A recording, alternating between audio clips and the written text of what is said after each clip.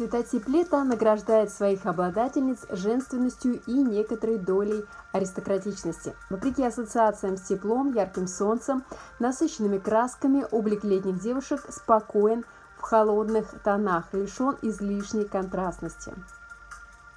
Большинство русских красавиц и самых обычных женщин относятся к этому цветотипу. Очень часто они недовольны своей внешностью, цветом волос, невыразительными, по их мнению, глазами.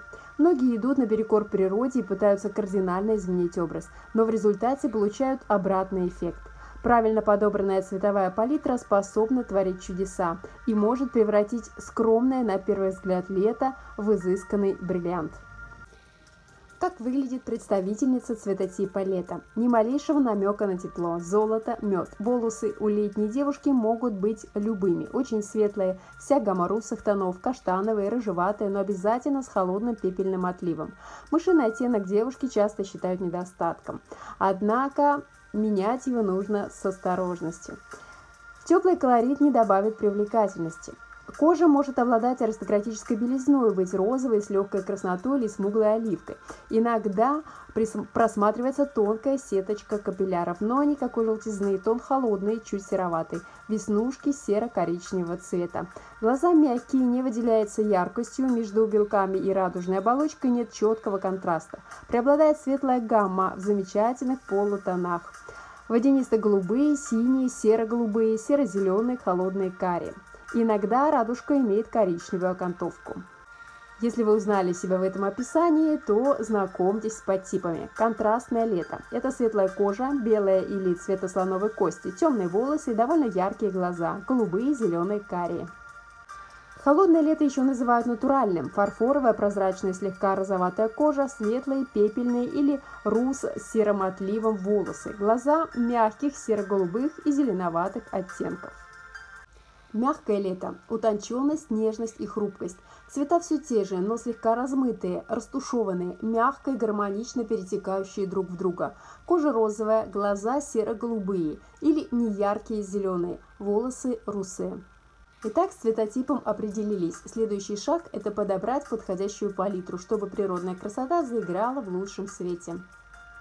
Все признаки цветотипа лета лежат в холодной плоскости, кожа при этом не всегда выглядит идеальной. Правильная расцветка одежды поможет сгладить этот недостаток или, по крайней мере, отвлечь от него внимание. Спокойная внешность лета, даже контрастный тип, не гармонирует с яркой теплой палитрой, а вот сложные оттенки и цвета с легкой примесью серого – то, что надо. Базовый гардероб, состоящий из верхней одежды, обуви, платья, юбок, брюк – отлично смотрится в следующих тонах. Это дымчато-синий, серо-голубой, стальной, графитовый, лиловый, бежевый, бежево-розовый, коричневый с серым подтоном, оливково-зеленый, темно-красный, брусничный. Блузки, топы, футболки, летние платья и сарафаны в светлых оттенках. Кремовый, нежно-розовый, светло-голубой, мятный, ванильный, сиреневый. Наиболее подходящие цвета для праздничной одежды. Классический синий, изумрудный, темно-розовый, арбузный, малиновый, вишневый, цвет красного вина, лимонно-желтый. Какие же ткани подойдут цветотипу лета? Лучше всего подбирать струящиеся и легкие. Это шерсть, кашемир, твид, фланель, джерси, бархат, креп-жакет, шифон. Обувь и сумочки наиболее подходящие, гладкие, матовые или замшевые. Лакированной кожи увлекаться не стоит. Обувь может быть черной, серой, серо-голубой, пастельных оттенков. Сумочка не обязательно совпадает с цветом одежды. Гораздо лучше, если она выделяется ярким пятном. Для очков категорически не подходят черные леопардовые оправы массивной формы. Лучше выбрать элегантную модель в нежно-фиолетовой или серебристой оправе с дымчатыми стеклами.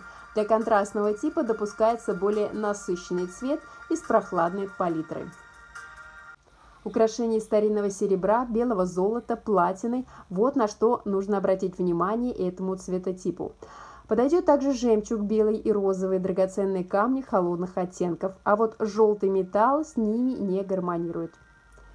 И более подходящие камни – бирюза, изумруд, аквамарин, лазурит, молочный опал – Какой же макияж наиболее подходит цветотипу лета? Для светлой кожи подойдут оттенки слоновой кости, холодные, розоватые. Это касается тонального крема и пудры. На смуглую хорошо ляжет оливковый. Слишком розовые, теплые, золотистые цвета подчеркнут недостатки, придадут усталый вид. Пудру можно взять бесцветную, а для вечера с мерцающим эффектом. Румяна твердое нет, коралловым, красноватым, рыжим, кирпично-коричневым. Приветствуются холодные, розовые, но не в виде раскраски, а мягко растушеванные. Черный карандаш не лучший выбор, гораздо лучше смотрится темно-синий, коричневый, серый, серовато-оливковый. Тут желательно выдержать такой же тональности, но черное допустимо. Идеально, если тени соответствуют цвету радужки, подойдут и холодные розовые. Подводку стоит выбросить. Помада, карандаш для губ и блеск. В распоряжении вся розовая холодная палитра. Ягодные оттенки сиреневые, сиренево-розовые. Из насыщенных арбузный, вишневый, темно-красный. Карандаш допускается на тон темнее помады или блеска. Для контрастного цветотипа подойдет более яркий макияж. Натуральное и мягкое лето просит спокойных полутонов и плавных переходов. Лицо должно гармонировать с цветом волос. Если хочется поспорить с природой, то краску следует выбирать в холодных тонах или сделать филирование с пепельным оттенком. Ну, кстати, оно уже не в тренде. Даже отдельные рыжие прядки подчеркнут морщинки, придадут усталый вид.